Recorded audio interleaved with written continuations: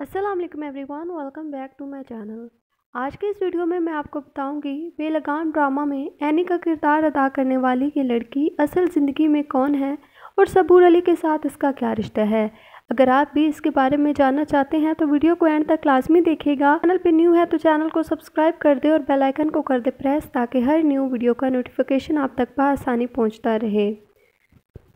बेलगाम drama में any का किरदार अदा करने वाली ये लड़की जिसका नाम एलिया जैद है, ये खूबसूरत पाकिस्तानी अदाकारा हैं और टिकटॉकर स्टार भी हैं। एलिया जैद ने अपने करियर का आगाज़ बतौर फ़ैशन मॉडल किया और मुख्तलिफ़ ब्रांड्स के लिए बहुत से फ़ोटो शूट भी करवाए।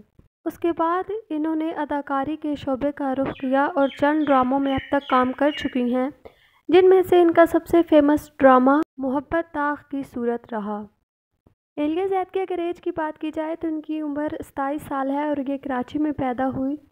ये एक यूट्यूबर भी हैं और बहुत ही अच्छे अच्छे व्लॉग्स भी बनाती हैं और लोग इनके व्लॉग्स को पसंद करते हैं।